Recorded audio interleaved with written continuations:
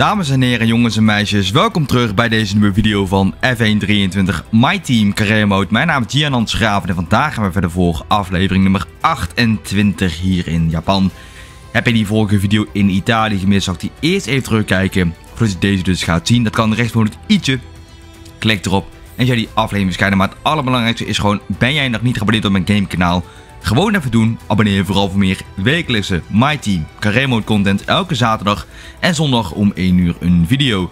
Dus zet ook gelijk dat belletje aan, zodat je geen enkele race meer van mij mist. De vorige video verliep extreem goed. Auto was daar heel erg snel en vonden daar onze derde race van onze carrière. Onze tweede van het seizoen. Hopen dat we ook iets in Japan kunnen gaan doen. Ik ben gewoon heel benieuwd. Er komt een regulatieverandering aan na seizoen 2 ja, moeten we dus even gaan kijken wat we dan, uh, als die is bevestigd, welke onderdelen dat zijn, dat weten we nog niet. Moeten we dus gewoon even afwachten wat het nieuws brengt. Er komen heel veel updates aan. De auto moet daardoor alleen maar sneller en sneller gaan worden. Dus vorige race weer gewonnen in Italië. Pakte onze allereerste overwinning daar op dat circuit. Kijken wat we kunnen doen dus in Japan.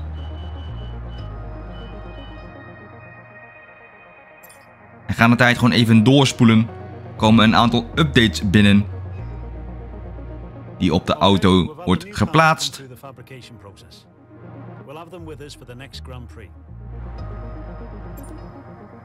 Dan volgt nu even een rivaal kiezen.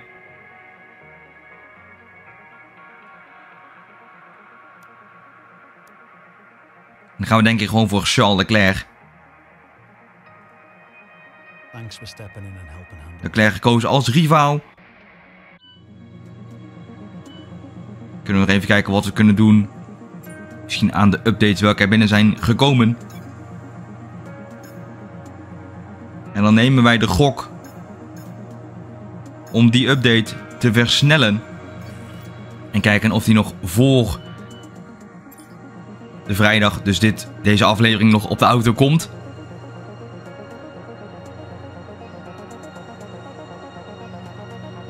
Eentje is gelukt. Helaas is die update niet geslaagd.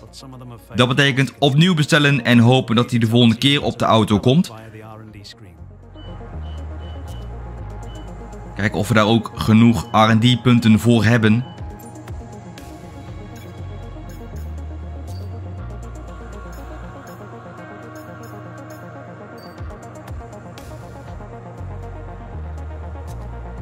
Veel dingen dus op de auto gezet. Helaas moeten we het bij standaard doen. En die komt dus in de volgende video op de auto. Maar goed, we hebben in ieder geval Alfa Tauri ingehaald. Dat is goed om te zien. Nu is het tijd voor de kwalificatie en kijken wat dat dan gaat worden. Daar gaan we dan. Dan zijn we aanbeland bij Q1. Het is voorlopig bewolkt op het circuit. Geen regen voorspeld. We zitten daar helaas wat te wijd. We krijgen daar een waarschuwing over de bochtafsnijding. Gaan we kijken wat we kunnen gaan doen in het eerste kwalificatiedeel in de grootprijs van Japan. Rijden met de Honda motoren, dus voor ons is het deels een thuisrace. Eerste bocht verliep daar niet zo lekker. Pakte daar te veel curbs mee en dat betekende dat de auto onder ons vandaan ging. Kwam aan bij het einde van mijn eerste run in Q1. Voorlopig een tiende positie. Daar helaas wat onderstuur. En missen daardoor de ene laatste bocht. Hebben na dus wat tijd verloren. DRS open. En dat is een derde tijd. Met de snelste sector van allemaal in de derde en laatste sector. Het was er even, even oppassen met de auto's die er uit de pit lane komen. We kunnen nog een ronde erachteraan plakken. P4 op dit moment. Met paars in sector 2. Doen we goed.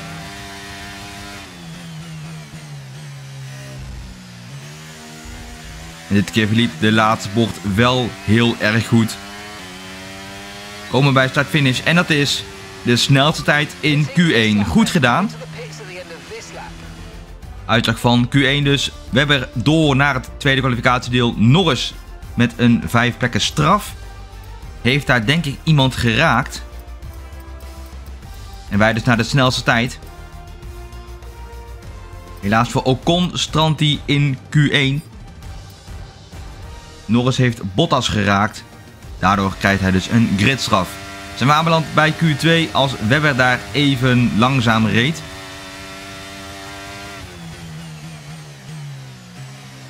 Moeten even kijken of we door kunnen komen op één bandenset. Dus de druk is wel groot. Maar goed, ik heb er alle vertrouwen in dat dat wel gaat lukken. Daar wat te wijd. En onderstuur gepakt. Gras geraakt. En hier gaat het helaas niet zo lekker. Dus daar moeten wij nog wat tijd zien te vinden. Kom aan bij het einde van mijn eerste run in Q2. Voorlopig groen in sector 1 en 2. Perez naar de snelste tijd en wij laten een vijfde positie noteren.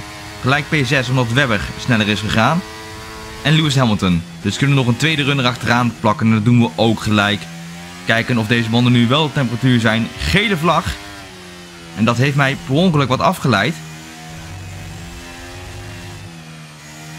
Deze ronde is niet goed. En dat is helaas de grindbak geraakt. We moeten dus naar binnen voor een nieuwe set banden. En dat gaan we ook gewoon doen. Dit moment een 14e positie. Ben nog ongeveer anderhalve minuut op de klok. We moeten dus onszelf gaan zien te verbeteren. Dat kan hier al in de eerste bocht. Jazeker, pakken daar gelijk 14e goed op onze eigen tijd.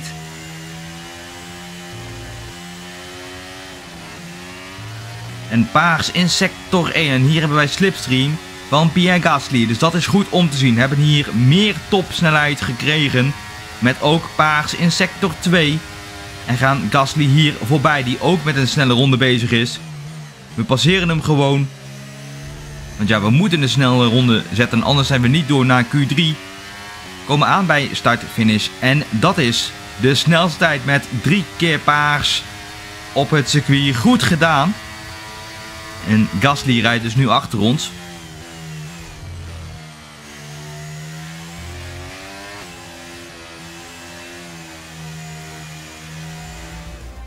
En dat betekent wij dus door naar Q3. Goed gedaan. Met de snelste tijd. Webber helaas niet. P15 Gasly ook niet. Niet door naar het laatste kwalificatiedeel. Zijn aanbeland bij Q3 met ongeveer een minuut op de klok. Gaan proberen om het bij één run te houden. En zijn dan gelijk snel uitkomen bocht nummer 2.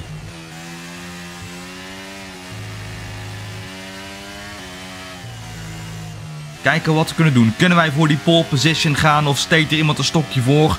Zou zonde zijn, want we rijden met de Honda motoren. Nog ongeveer 5 seconden nog op de klok. Dan hangt de vlag uit. Op dit moment een P10. De vlag hangt uit in Q3. Kunnen wij naar die pole position rijden? Dat is de vraag. DRS geopend. Start-finish. En dat is... Een tweede tijd. Een tweede tijd in de grote prijs van Japan. Want Verstappen is sneller gegaan. Wij komen 25.000ste van een seconde tekort. Twee Honda motoren op de eerste startrij in de grote van Japan. Goed gedaan. Ook van ons. P2. Prima resultaat. Op naar de race en kijken wat we kunnen gaan doen. Daar gaan we dan voor aflevering nummer 28.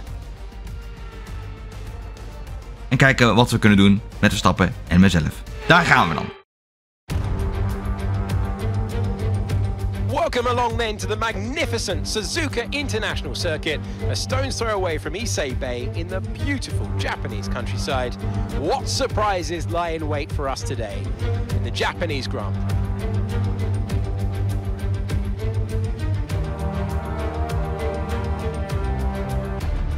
Before we begin, let's take a quick look at the grid lineup for today's race. World champion Max Verstappen starts from pole position, and the Professor completes the front row.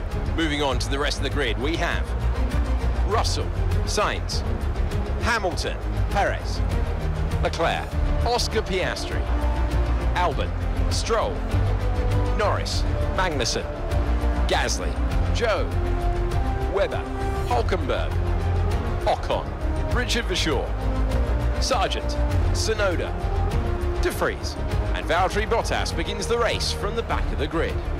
That's it then, it's time to go racing as we head down trackside for today's race. And we welcome Anthony Davidson to the commentary box. And what are you looking forward to most this weekend? Now, can I get your take on Max Verstappen? Well, it was a really impressive lap in qualifying to get pole position, but are they going to be able to hold on to the lead into the first corner with so many quick starters around them? I'm also looking forward to seeing the different strategies in play today. Those who are starting on the red mark soft tyre are going to have a little bit more grip early on, but they have to make it count before that degradation starts to set in. Okay, we've got that relief of having points on the board finally, so let's keep that form up and get another top 10 finish today, please. Nou, het doel is dus duidelijk. Opnieuw een top 10 finish te behalen. Strategie is hard medium. Daar wil ik even een verandering in brengen, want we gaan naar soft medium. Wil zoveel mogelijk profiteren van de start. Staan dus aan de binnenkant. Dus als we een goede start hebben, dan kunnen wij de leiding misschien afpakken van Max Verstappen. Wie weet. Dus vandaar dus mijn voorkeur. Pakken dus ook extra brandstof mee om wat harder te kunnen pushen. En dan gaan we gewoon beginnen voor de formatieronde. Max dus op de harde band. Russell op hard. Sainz op mediums en Hamilton op hard. Wij als enige in de top 5 op de zachte band. Dat kan ons dus een voordeel doen. Maar weet wel dat we eerder naar binnen moeten dan de jongens voor ons en achter ons. Is is is Geen regen voorspeld.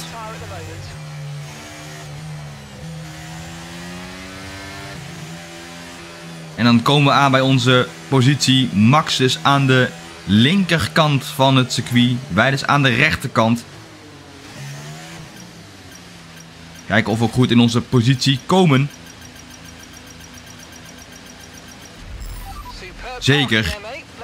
En dan gaan we gewoon beginnen voor de grote prijs van Japan. Aflevering nummer so that's the rest of the grid 28. forming up now. Be patient. Gaat zometeen beginnen met Max Verstappen op pole position op die harde band. Wij dus op P2 op de allerzachtste band. En de lampen gaan aan voor de grote prijs van Japan. En ze zijn uit en we zijn onderweg en komen heel goed weg. Max begint ons gelijk af te knijpen. Is mislukt en wij pakken de leiding af. In de eerste bocht. Nog voor de eerste bocht zelfs. Goed gedaan en pakken hier een wijdere lijn. En Max kan hier niet aanvallen vanwege die zachte banden die wij hebben. Uitstekend geprofiteerd van de zachte band. Max terugverwezen tot een P2 op die harde band. En nu moeten wij hopelijk wegrijden van de concurrentie. Gooi de overteknop al gelijk aan. Max kan hier helemaal niks. En laat de paars in sector 1 noteren. Een uitstekende start hier voor de grote prijs. Begin ronde nummer 3 ongeveer. Einde ronde nummer 2 eigenlijk. Als Max naar ons is toegereden. Die harde band is gewoon goed voor de Red Bull. TRS is ingeschakeld door Race Director. Wij winnen hier al gelijk een aantal tienden mee op Verstappen. Het gat is ongeveer een halve seconde. Hier hebben wij het wel lastig. Want Verstappen rijdt gewoon naar ons toe.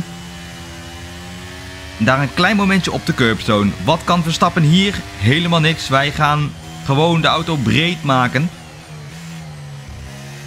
Max moet nog even geduld hebben voordat hij echt een aanval kan wagen.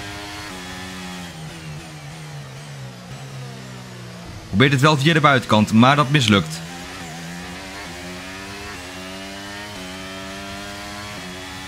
En hebben een hele goede exit vanwege die zachte banden en de overtakeknop. Gaan er wel een beetje wijd daar. Verstappen kan daar helemaal niks. Ronde nummer 5. Als we daar weer wijd gaan. En dit keer is het wel een touché met mezelf en Verstappen. Die daar een nieuwe neus moet gaan halen. Of heeft hij het overleefd? Weet ik niet zeker. Maar Max valt ver terug. Gat is nu 17e. En dan gaan we ronde nummer 6 alweer in.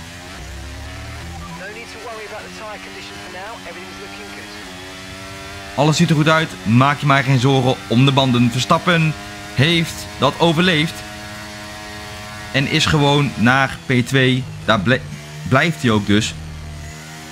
Gat is middels een seconde. Dus hij heeft wat goed te maken. In ronde nummer 6. Daar gaan we een, iets te diep in die bocht. Gele vlag. Omdat daar iets is gebeurd, denk ik. Dat is volgens mij Richard Verschoor die gaat uitvallen in de wedstrijd. Verschoor finisht de grote prijs van Japan niet. Wij houden nog steeds Verstappen achter ons. Jazeker, Richard Verschoor uitgevallen in de race. Verstappen zit hier te kijken bij 130R, maar kan er niet langs.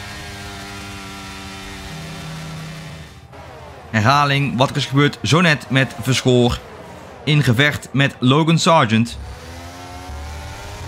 Gaat voor P16, maar hier houdt de Mercedes motor het voor gezien. En dat betekent een DNF voor Verschoor. Dat is jammer om te zien. Volgens mij is het ook mijn voormalige teamgenoot.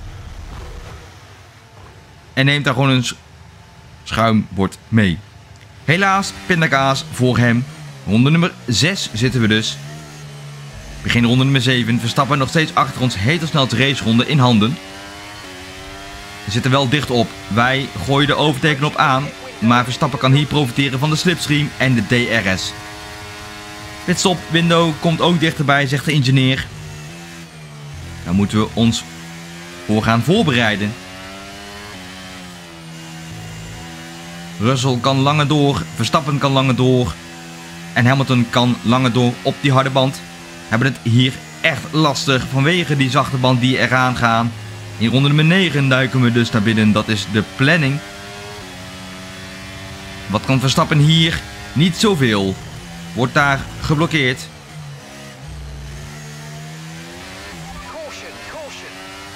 Gele vlag vanwege Verschoor die er nog steeds stilstaat. Dus Max kan hier en mag hier niet inhalen. Schoor daar dus aan de rechterkant. En we mogen weer verder racen. Groene vlag wordt gezwaaid. Heeft ons wat geholpen ten opzichte van Max, maar daar gaan we ietsjes te wijd. En dat is een touché met de landgenoot. Volvleugel op sidepot en Max moet naar binnen voor een nieuwe neus. Wij hebben geen schade opgelopen. Dat is goed om te zien, maar we gingen daar te wijd. Kwamen terug op de baan en Max kon daar helemaal niks aan doen. Een fout door ons. Maar goed, we krijgen er gelukkig geen straf voor. Dat is goed om te zien. Max moet dus naar binnen voor een nieuwe neus. En dat gaat hij ook doen. Verstappen naar binnen voor een nieuwe voorvleugel en een andere set banden. Gaat denk ik naar de medium band. Want om nu naar de zachte band te gaan lijkt mij ook sterk. Herhaling wat er zo net is gebeurde met Verstappen en mezelf. Wij gaan daar te wijd. Komen terug op de baan. En ja, het is eigenlijk gewoon onze schuld. Max, die daar gewoon niks aan kon doen, rijdt dus met een kapotte wing end plate. Verliest daar gewoon heel veel downforce. En wij rijden logischerwijs gelijk weg van hem. Gaat hier de boel ophouden. En duikt dus naar binnen voor een nieuwe neus. Gaat denk ik naar de medium band. Voorvleugel eraf bij de Red Bull. En jazeker, Max gaat naar de medium band. Valt heel ver terug. Tot achter Niek de Vries. En nog 8 rondes te gaan in de race. Zitten wij in ronde nummer 9 van de wedstrijd als George Russell naar ons is toegereden. We gaan hier verdedigen. En Russell rijdt de grindbak in. George Russell maakt een fout en daardoor verliest hij P2 aan Lewis Hamilton. Zeldzaam een fout van de Mercedes-rijder. En die banden gaan eraan. Onze banden dus. En duiken dus naar binnen in ronde nummer 9. Ik vind het wel goed geweest en gaan dus naar de medium band.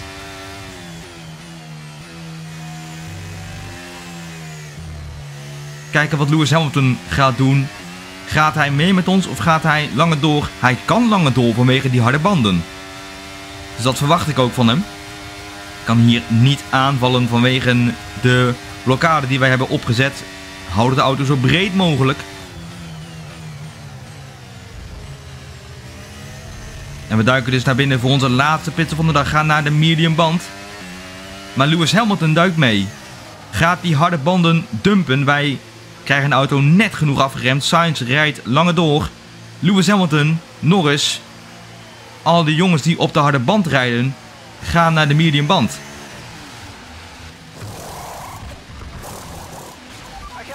Een prima pitstop, 2,3 seconden en komen mooi voor Lewis Hamilton weer de baan op. Jazeker. Goed gedaan, komen we terug op een P10. En Verstappen rijdt de snelste raceronde, maar dat is logisch, want hij heeft de banden al op temperatuur, maar rijdt wel helemaal achteraan. Reed toen net helemaal achteraan, nu niet meer. Herhaling wat er is gebeurd met George Russell. Zet ons hier vol onder druk, kan hier nergens naartoe. En het is Russell die zelf die fout maakt. Alhoewel, wij gooien de deur eigenlijk ook dicht. Russell kon daar eigenlijk geen kant op. En dat is dus de. Moet daar heel veel jongens voorbij laten. En valt terug tot achter Mark Webber.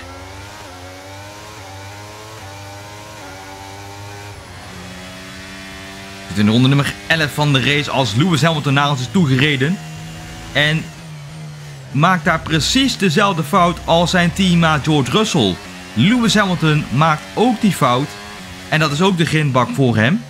En valt daar ook ver terug. Want Sainz rijdt aan de leiding. Moet nog naar binnen. Wij dus op P2. Lewis Hamilton wou een aanval doen voor die tweede positie. Voor de virtuele leiding dan.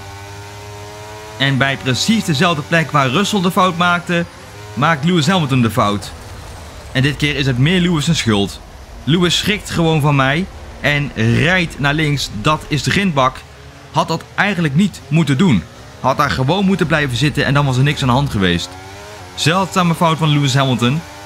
Niet verwacht van een zevenvoudig wereldkampioen. Maar goed, de Vries. Dus nog steeds in het spel. 21ste. Gescoord is uitvaller. En ja, Russell en Hamilton met die fout. Pakken nog maar weinig punten. Max helaas met een voorvleugelschade moet daar ook damage control doen. En wij pakken een overwinning. Goed gedaan in Japan. Pakken onze tweede achtereenvolgende overwinning van het seizoen. Onze vierde in totaal. Prima race. Goed gedaan. Belonen Honda. En dan is het op naar de volgende wedstrijd.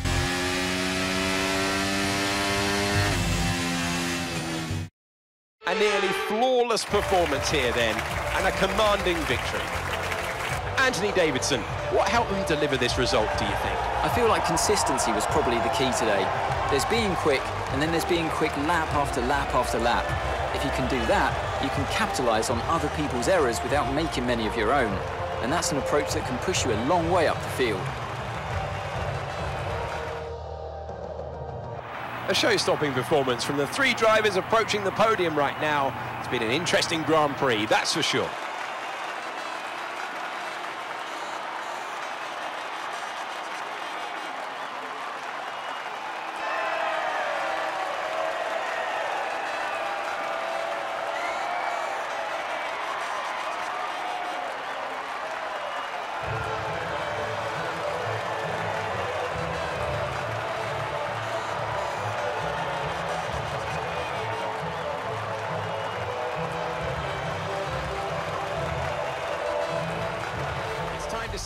Nou, hier dus de uitslag van de wedstrijd. Wij winnen dus onze derde race van onze carrière. Onze tweede Achterin volgende wedstrijd. Goed gedaan, Perez op het podium. Eens op het podium. En wij krijgen Driver of the Day. Score uitgevallen helaas. Hamilton en Russell pakken toch nog punten. Russell nog steeds leider in het klassement. 15 punten daarachter Lewis Hamilton en wij dus vijfde in het constructeurskampioenschap. En vijfde in het coureurskampioenschap. Goed gedaan. Daar moeten we ook gewoon blijven. Dus een prima race voor ons. Plus 5 voor mij, plus 2 voor Leclerc. Wat betekent 7 tegenover 3. Doen we ook goed. Team McLean is ook gewoon neutraal.